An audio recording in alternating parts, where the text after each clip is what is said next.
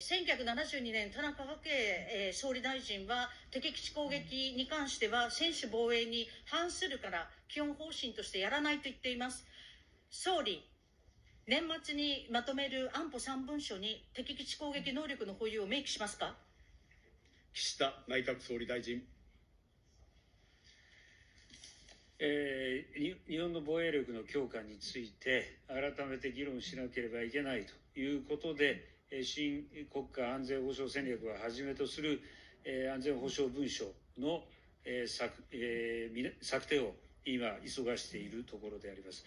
その中にあって、この我が国に対するミサイルのミサイルの飛来等を考えますときに、ミサイルのの技術の進歩ににしっかりと対応した装備が備えられているか、これを議論しなければならない。その際には、あらゆる選択肢を排除して議論するべきだ。